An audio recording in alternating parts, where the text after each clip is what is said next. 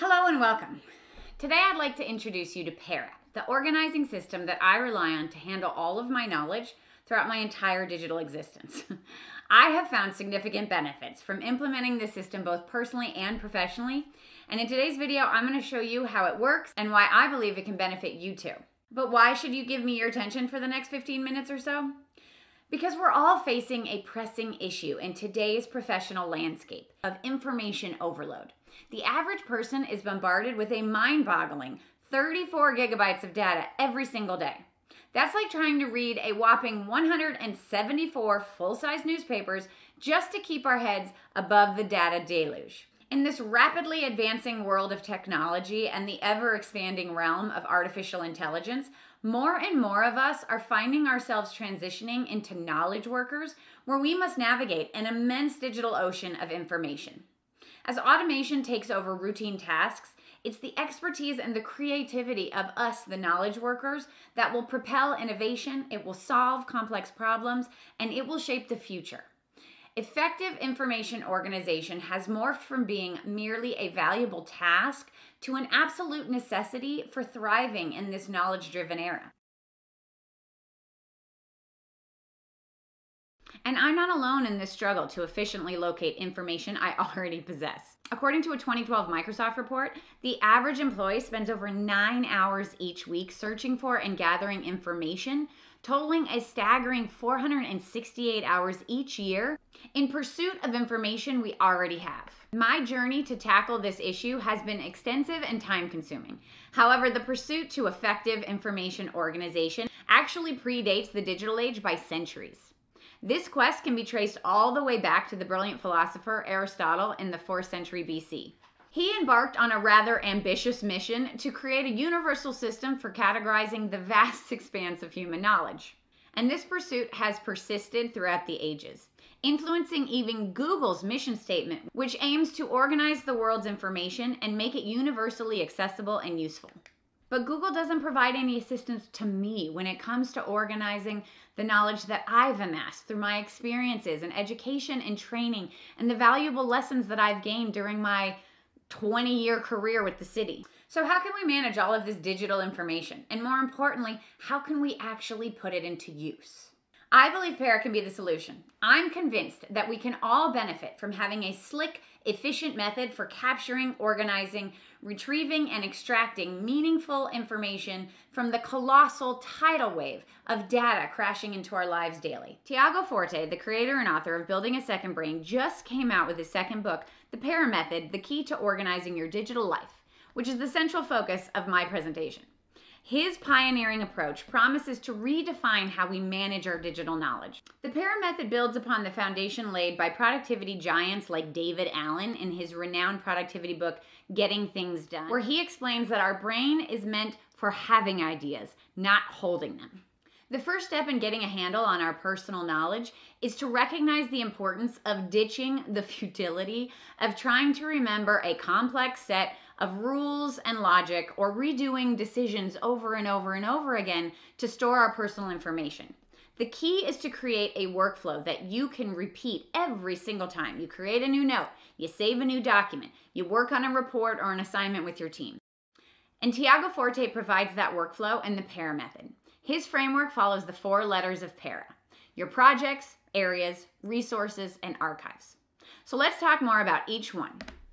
So, projects are short term endeavors that require multiple work assignments and demand your attention.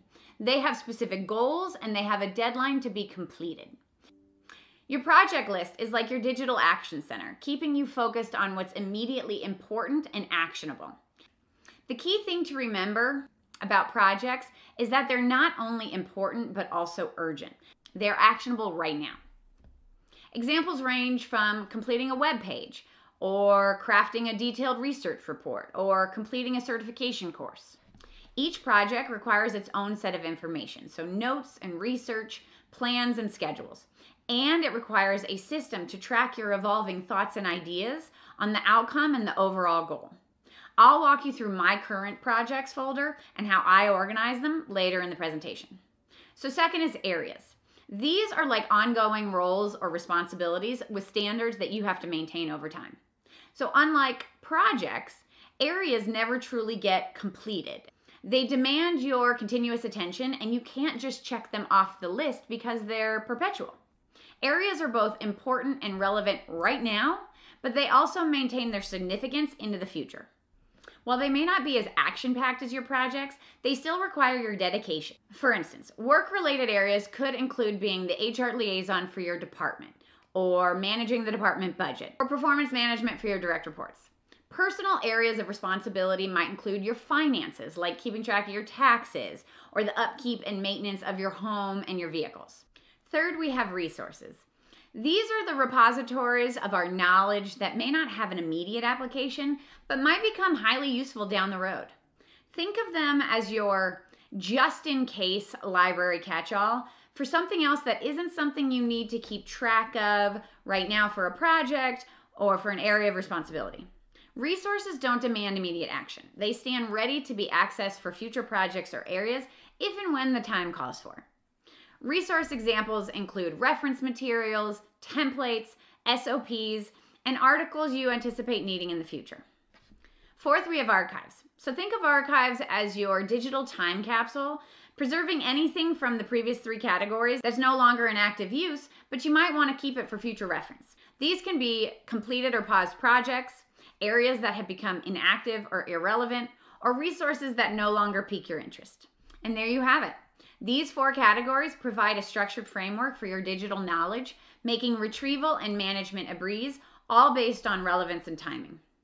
This system is key to maintaining and organizing an efficient personal information management system. Now, let me show you how I've organized my notes and files. What's truly beautiful, in my opinion, about this system is its versatility. I have implemented the same folder structure across all of the different applications I use for OneNote, for OneDrive, whether it's my personal matters or my responsibilities here at work. Para is my solution to managing all of my personal digital information, and more importantly, it's the secret sauce that allows me to transform that information into action. So I've been using OneNote for close to a decade as my primary note taking application. Here is a generated summary of every note I have in my OneNote application. Believe it or not, that is thousands of unique pieces of information that can be easily sorted into four categories projects, areas, resources, and archives. Tiago suggests putting a number before each category or notebook so that they appear in the order of most actionable to least actionable. And according to Tiago, most people have somewhere between 15 to 25 projects or different goals and outcomes they're actively working toward at any given time. These are my active projects in various stages of completion.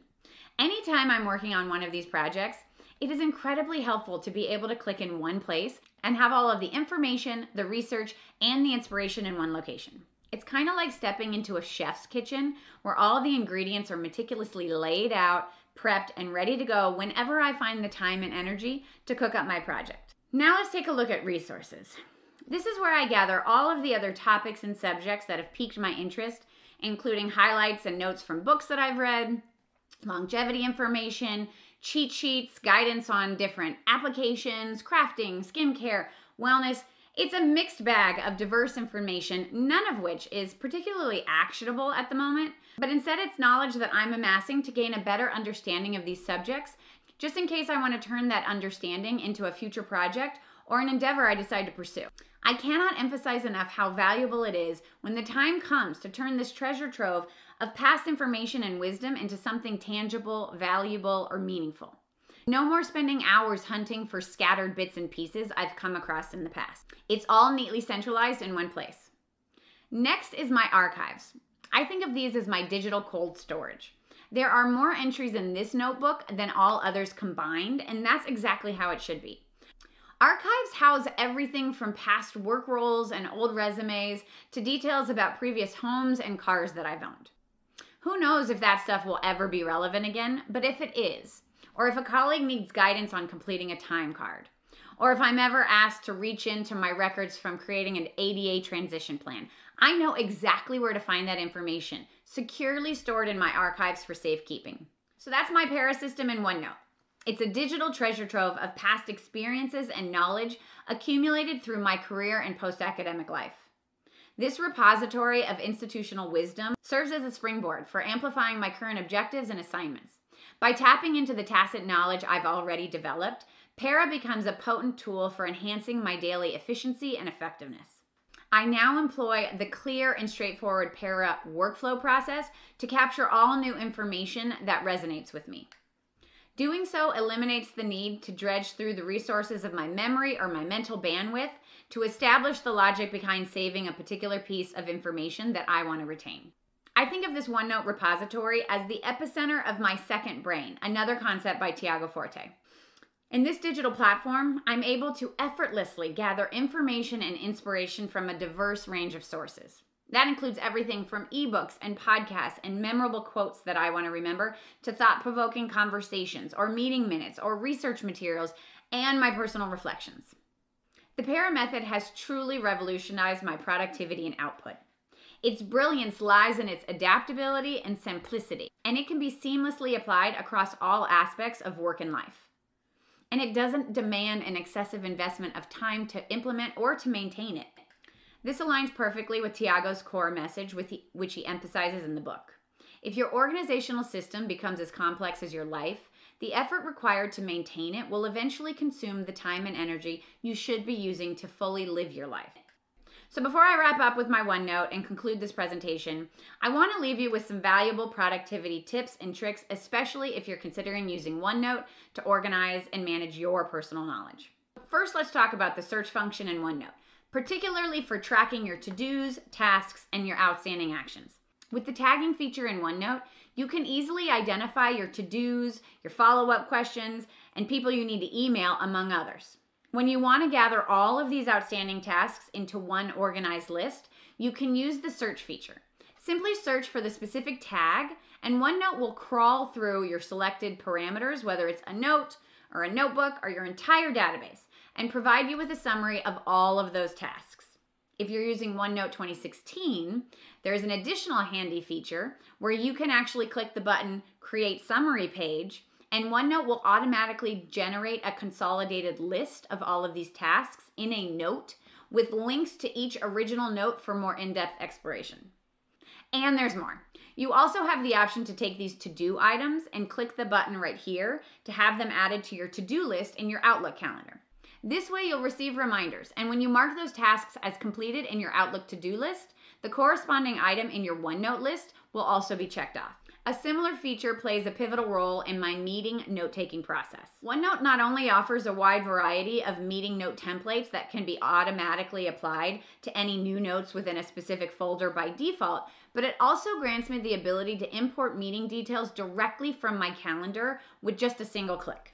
This results in a new note that not only includes any attachments from the calendar item, but also provides a convenient list of the names of all attendees. Once the meeting has concluded, I can seamlessly distribute my meeting notes to all relevant parties using OneNote's email page feature. It's an efficient process that allows me to share essential meeting information with those who need it without the need for me to spend extra time composing a separate email with all the meeting details. And I'm able to maintain a meticulously organized repository of all my meeting notes, ensure that I have access to them for future reference if necessary. This streamlined approach significantly enhances my productivity and ensures that important meeting information is readily available when required. I could keep going into even more of these nifty tricks and hacks that I utilize in OneNote, but we'll save that for another day. As I wrap up my presentation on the para method, I want to emphasize that if you find yourself regularly sitting in front of a computer, dealing with copious amounts of digital information, whether self-generated or provided by others, or things you need to research and incorporate into your projects and assignments, you stand to gain immensely from implementing the structured para workflow to organize it all. I genuinely hope this presentation has piqued your interest in this valuable methodology and simple workflow for organizing and managing your personal and professional knowledge.